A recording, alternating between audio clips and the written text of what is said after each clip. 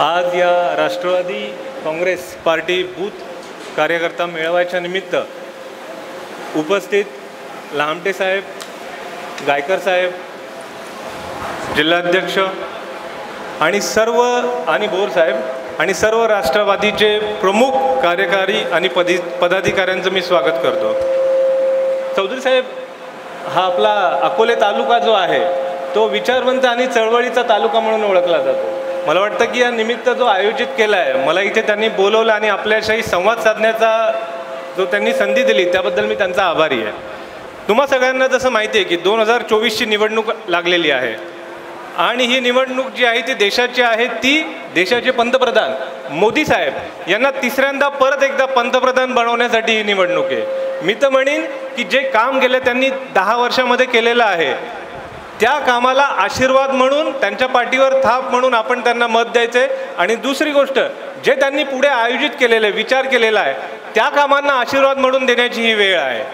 खूप साऱ्या योजना आहे केंद्र सरकारच्या. जसे आयुष्यमान आहे जलजीवन मिशन आहे अशा जर आपण नंबर काढले तर शेकडोमध्ये योजना आहेत ज्या लोकांपर्यंत पोहोचलेल्या आहेत.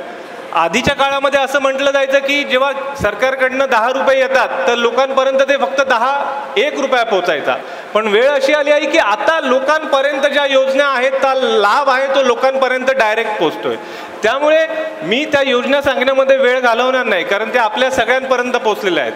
पण जेव्हा अडीच वर्षापूर्वी राज्यामध्ये शिंदे साहेबांचं फडणवीसजींचं आणि आपल्या अजितदादांचं सरकार आलं त्यावेळेला मोठ्या प्रमाणात निधी जो आहे तो आपल्या शिर्डी लोकसभा मतदारसंघामध्ये आला. मी तुम्हाला सांगू इच्छितो की आताच मी आल्यानंतर आकडेवारी काढली ऑफिसमध्ये बसून की आपल्या तालुक्यापर्यंत तालुक्यामध्ये आतापर्यंत गेल्या दहा वर्षामध्ये किती वेगवेगळ्या योजनांचा निधी आला खासदार साहेबांच्या मार्फत. तर तुम्हाला सगळ्यांना आश्चर्य वाटेल की ती आकडेवारी माझ्याकडे आहे. तर दोनशे त्र्याहत्तर कोटीचा निधी जो आहे वेगवेगळ्या योजनांच्या मार्फत आपल्या या अकोल्या तालुक्यामध्ये आलेला आहे. फक्त एक खंत वाटते की कामं झाली कारण साहेबांचा स्वभाव असा आहे की जो कोणी त्याच्याकडे येतो त्यांचं काम ते करून टाकतात.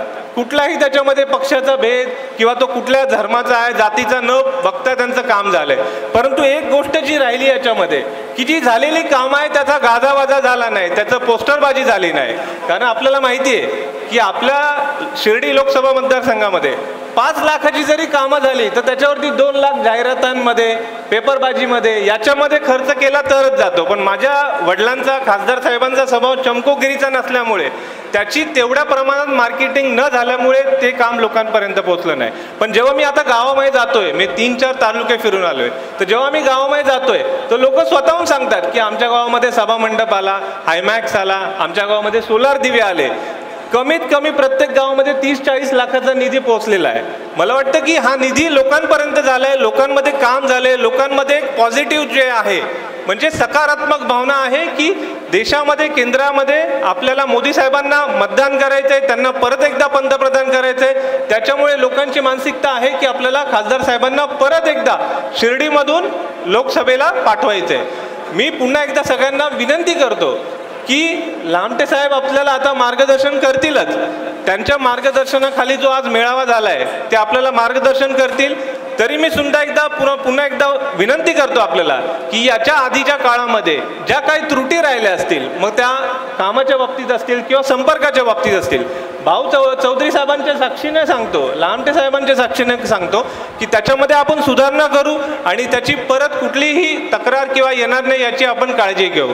पुन्हा एकदा मी आपल्या सगळ्यांना विनंती करतो सर्व राष्ट्रवादीच्या पदाधिकाऱ्यांना की येणाऱ्या याच्यामध्ये कुठलेही मतभेद कुठलेही आपले तंटे असतील ते बाजूला सोडून देशामध्ये आपल्याला मोदी साहेबांना परत एकदा पंतप्रधान करण्यासाठी आपल्याला लोखंडे साहेबांना शिवसेनेचं धनुष्य बाणासमोर बटन दाबून त्यांना आपल्याला लोकसभेला पाठवायचं आहे मी पुन्हा एकदा आयोजकांचे आभार मानतो की त्यांना इथे मला बोलावलं मला इथे संवाद साधण्याची संधी दिली. त्याबद्दल मी त्यांचा मनापासून आभारी आहे. धन्यवाद.